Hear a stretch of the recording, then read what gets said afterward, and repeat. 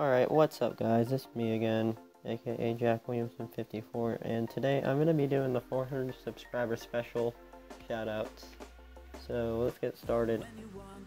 Um, first one I want to start off with is one of my very good friends. His name is Levi the Foxy or MST2474 which is what he used to be.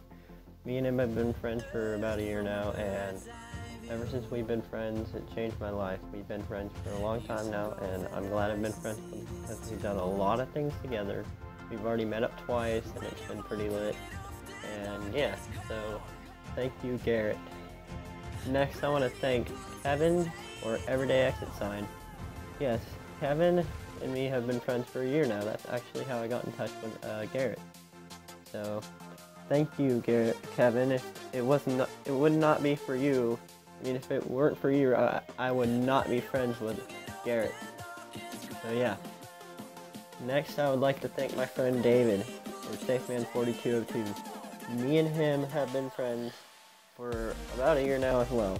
And ever since we've been friends, he's also changed my life. And yeah, he's helped me through a lot of things and stuff.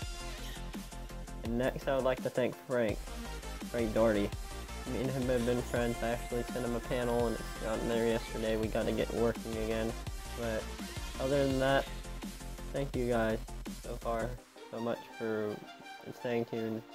Next, I would like to thank my friend Landon. Me and him have done so many trades and me and him have been friends for a long time. So, thank you.